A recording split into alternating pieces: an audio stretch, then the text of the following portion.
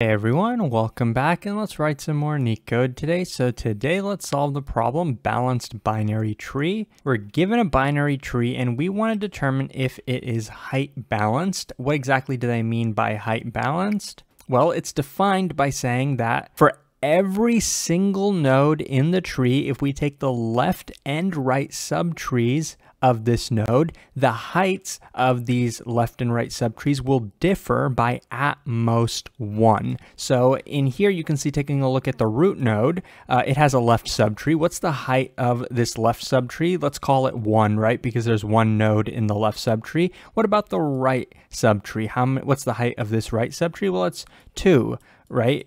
We can determine that just by looking at it. So then the left subtree has a height of 1, the right subtree has a height of 2. The difference is uh, at most 1, right? Because if we take the absolute value of the difference, we get 1. So we'll say the uh, difference is 1. So we just did that for the root node, but we have to do that for every single node to make sure that the left and right subtrees of every single node differ by at most 1. And just to show you a counter example, so this is kind of a badly drawn tree, but take a look at the root node, right? If we take a look at the left tree over here, the height is 3. If we take a look at the right subtree, the height is 3. So the difference is 0, which fits into our criteria. So from the root node, the left subtree and the right subtree are balanced. But if we take a look let's say, this node, right, we take a look at its left subtree, which is empty, right? So that has a height of 0. The right subtree has a height of 2. So in that case, the difference is 2 minus 0, which is 2, right? positive 2, which is greater than 1. So just because uh, from here,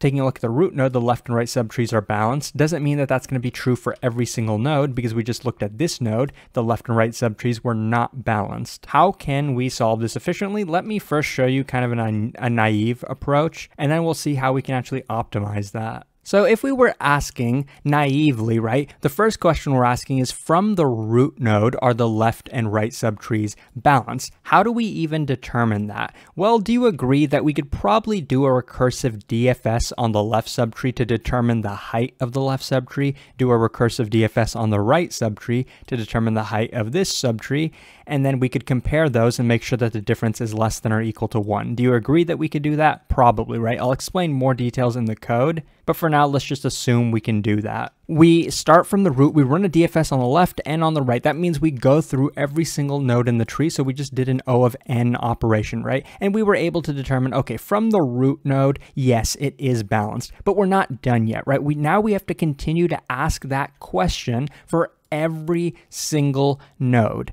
right? So the next question we're going to ask is suppose on the left subtree, right? From the left subtree, are the left and right subtrees from this node also balanced? And of course, they're both zero, so we determine that they are. And then we'll have to recursively go to the right subtree. From here, we're going to ask, are the left and right subtrees balanced? Yes, they are, but we'll recursively have to continue. We'll have to do that from this node, and then we'll have to do that from this node. Since we're running a recursive DFS on every single subtree on this uh, root tree, we're going to have to do basically an O of n operation each time we ask that question. Is it balanced from here? Is it balanced from here? Is it balanced from here? And we can have a really big tree and we'd have to do an O of n operation each time. O of n is the number of nodes in the tree. And if we have to do this n operation n times, we're going to get a time complexity of O of n squared. So now the question is, can we do better than that? Is there any repeated work? And I'll show you that, that yes, there is repeated work, and it basically can be eliminated by asking the question in a different order. What I mean by that is instead of first asking if the entire tree is balanced from the root node, right? That's the first question we ask. Is it balanced starting from here? Instead of asking that, we uh, do this bottom up. We start, we recursively, instead of asking it from here, we're going to check, okay, is this entire right subtree balanced? Before we do that, we're going to ask, is this entire subtree balanced? And we're going to keep going lower and lower until we get to the base case. Once we get to the base case, then we're going to go back up and I'll show you how that's actually going to end up eliminating the repeated work. If we do it in this order, we'll only have to visit each node at most one time, which will ensure the overall time complexity is going to be big O of n rather than n squared. Okay, so when we get to the root, before we check if it's balanced from here, we're going to check if it's balanced from this right subtree. That makes sense so far. And then before we ask from this position, we're going to ask is it balanced from this leaf node, right? And now we can't really go any lower because this node doesn't actually have any children. So of course its subtrees are going to be balanced. But now we're good, right? We, we determine, okay, this from this node, yes, the left and right subtrees are balanced, right? And then we pop back up suppose. And then uh, we, we also want to make sure that this uh, node is also balanced. It's the same thing, right? The left and right childs don't exist. So yeah, it's balanced from here as well. So we determined that, right? Now we know from at least these two nodes, yes, the left and right subtrees are balanced from these two nodes. Okay, now we want to know, is it balanced from this node? How can we determine that? Aren't we going to have to go back down and revisit the entire right subtree and the entire left subtree again? No, and I'll show you why. As we are determining if this subtree is balanced, let's also at the same time, simultaneously, let's make sure we get the height of this tree, the entire height of this subtree, and let's do the exact same thing for this node, make sure we get the entire height of this subtree, because once we've done that, then once we go back up to the parent node from here, it will be easy. We already have the height of this tree, we already have the height of this tree, we can take the difference between those, make sure it's less than or equal to 1, and then we're good. We, we didn't even have to revisit these trees, right? From this node, now we've already determined, yes, it's also balanced from this position, right? So now we've determined it's balanced from this node, balanced from here, and balanced from here. And now we want to go back up to the root node and make sure it's balanced from here. Before we do that, we have to solve the sub problem on this left subtree. It's just a base case problem, right? It's just a single node, so we know it's balanced from here as well. So now we want to go back up to the root node. Is it balanced from this root node? Well, as we are doing this, right, as we were doing this right subtree, we determined that the height of this tree was 1, the height of this tree was also 1, right? So now we want to know before from from this node over here, before we return back up to the parent, we want to know what's the entire height of this subtree. How can we easily determine that? Well, we know that this was 1, this was also 1. So from here the height is just going to be 1, meaning 1 this 1 comes from this node over here plus the max of its left and right subtrees, which we know are both 1. So we can take the max of 1 and 1. That's going to end up being 1. So the height of the overall tree is just going to be 1 plus 1, which is 2, right? So the height of this tree is going to be 2. We determined that pretty easily, and we, that's what we can return back up to this parent node, which is good for us, right? And from this tree on the left, the height is 1 because it's just a single node. So we return that up to the parent as well. So now from here, we know that the height of the left subtree is 1, the height of the right subtree is 2. We can take that difference, 2 minus 1, it's 1, which is less than or equal to uh, 1. So that we do know that this is balanced from this node as well, right? And we can continue to recursively do that if we had another parent node up above us somewhere, we could return, okay, the height of this overall tree is going to be 3, right?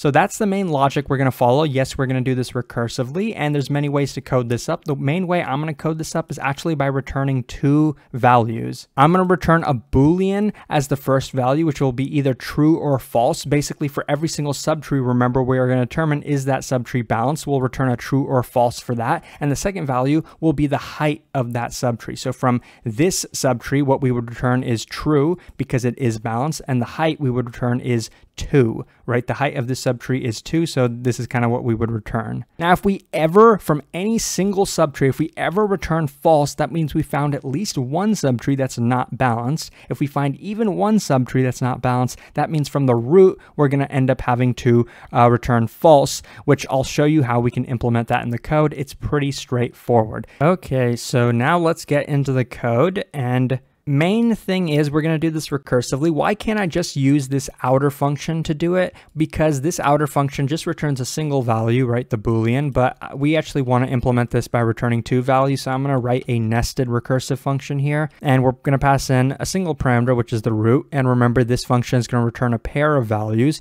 a boolean and the height of the tree. So first things first, the base case. If the root is uh, null, right, this means that we have an empty tree. So is an empty tree considered balanced? Yeah, let's say it is. So for the first value, we'll return true in this case. And the second value, which is the height of the tree, an empty tree we can assume just has a height of zero, let's say. And now remember, before we determine from this root node, is this tree balanced? First, we want to determine if from the left subtree it is balanced and from the right subtree is it balanced. So let's call DFS recursively on the right and left subtrees and then assign it to the result variables left and right. So that's what we're doing with the single line of code, calling DFS on both subtrees. So now we want to know from the root node, is it balanced, right? How can we determine that? Well, we're gonna have to take the absolute value of the left and right heights, right? So how can we do that? We can take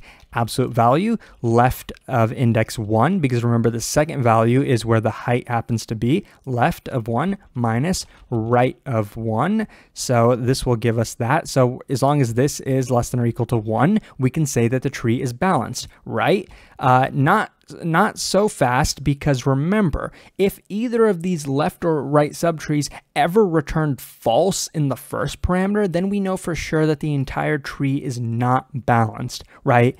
So before we say uh, that this condition is enough, we're going to add two more conditions. We're going to say, okay, as long as this is true, meaning that from the root it's balanced and the left and right subtrees were also balanced. So we can determine that by just taking the uh, first, the, the zero index of left and the zero index of right and also this condition over here. Let me just reformat it slightly to make it a little bit more readable. This balance is what we're going to be returning as the first, uh, as the zeroth index. Let me just show you that. So we're going to return a pair of values. The first is going to be, is this tree balanced? And the second is going to be the height of the tree. How do we determine the height of the tree? Well, it's going to be one. Uh, one comes from the root node that we're currently at, plus the max of the left and right subtree. So we can get that pretty easily. Left at index 1 uh, and right at index 1. So whatever the max of those two is,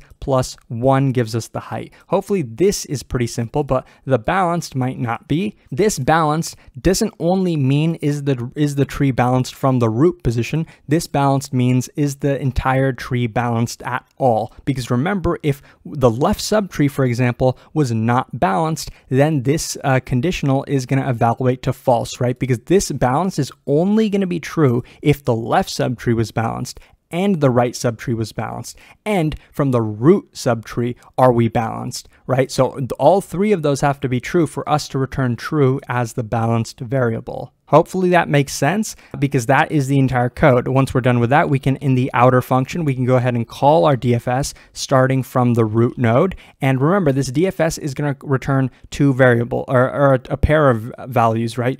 A boolean and the height. So which of those do we want to return in the outer function? We want to return the boolean, so we can return this at index zero, and then that'll be the entire code. So let me submit it to make sure that it works. As you can see on the left, it does work and it's pretty efficient. So I hope that this was helpful. If it was, please like and subscribe. It supports the channel a lot, and I'll hopefully see you pretty soon. Thanks for watching.